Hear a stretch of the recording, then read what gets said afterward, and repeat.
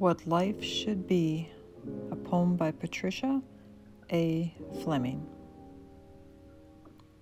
To learn while still a child what this life is meant to be, to know it goes beyond myself, it's so much more than me.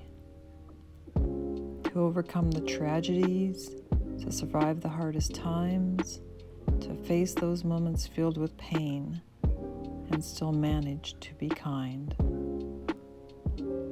Fight for those who can't themselves, to always share my light with those who wander in the dark, to love with all my might. To still stand up with courage, though standing on my own. To still get up and face each day, even when I feel alone.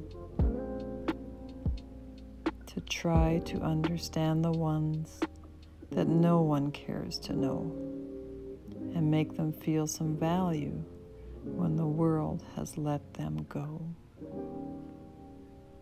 To be an anchor, strong and true, that person loyal to the end, to be a constant source of hope to my family and my friends, to live a life of decency, to share my heart and soul, to always say, I'm sorry when I've harmed both friend and foe.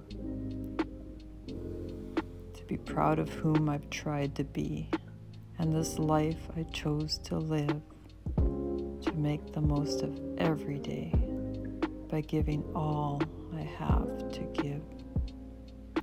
To me, that's what this life should be. To me, that's what it's for.